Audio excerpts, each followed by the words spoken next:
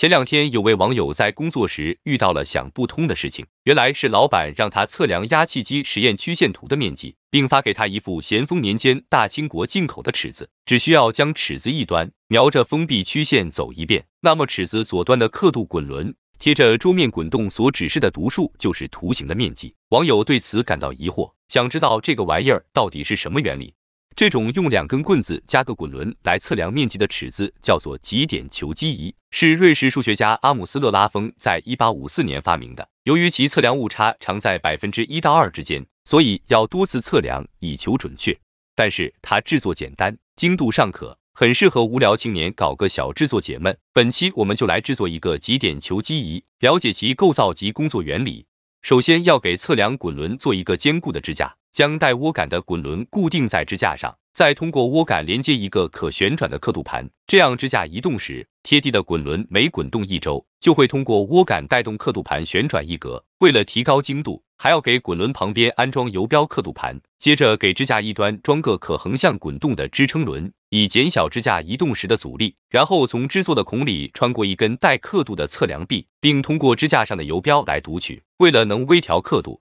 还要给测量臂套上带螺丝杆的微调滑块，并拧上紧固螺丝。由于测量臂的刻度必须十分精确，因此还要为眼神不好的人士配个放大镜。接下来给支架的连接孔里插入另一根固定臂，这根臂的末端有个作为极点的底座，只能让固定臂做旋转运动。最后在测量臂头部安装一个平头长钉，用来贴着曲线描记。组装完成后，我们将球基仪的极点固定，让描记的长钉贴着一段封闭曲线从起点开始运动。发现测量臂在移动时，贴着桌面的刻度滚轮也在不停的转动。等到描记钉走完了一圈，又回到起点，看到圆盘读数为一到二之间，滚轮读数为三，所以十进制的滚轮行走的距离为十三。由于当前的设定是滚轮转一圈代表一百平方厘米，因此两个数字之间的一大格就等于十平方厘米。既然它走了十三个大格，那么封闭曲线围成的面积就是一百三十平方厘米。但为什么会这样呢？其实原理很简单，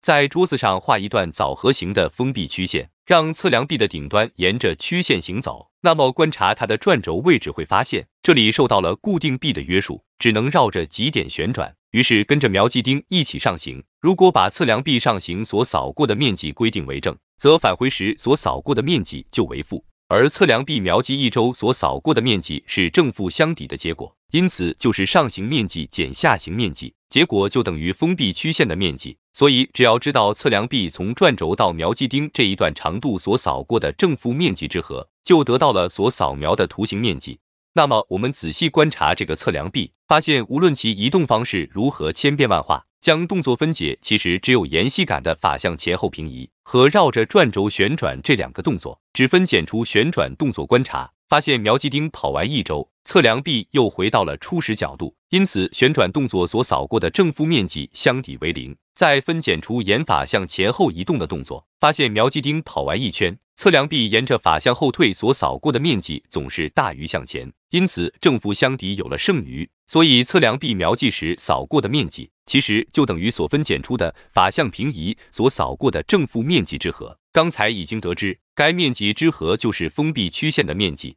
因此，在测量臂一端安装滚轮的目的，就是让它记录下沿着测量臂垂直方向所滚动的正负距离之和，再乘以转轴到描机钉之间的臂长，就得到了测量臂扫过的正负面积之和，也就测得了封闭曲线的面积。可见，测量臂的长度会直接影响滚轮上每个分化刻度所代表的面积。所以调节臂长需要在放大镜下准确操作。本期我们不打算利用格林公式对球基仪原理进行严格的数学证明，因为看到它的操作你就知道这个东西并不精确。但凡描记时有个眼歪嘴斜或是抖腿手滑，都会影响测量结果，以至于误差在百分之一到二之间。但想到只靠这两根虫蛀鼠咬的破铁棍子，以及配套的臂长与尺度对照表，就能大差不差的测量面积，这还是让人不禁对一百七十年前发明它的瑞士数学家由衷赞叹。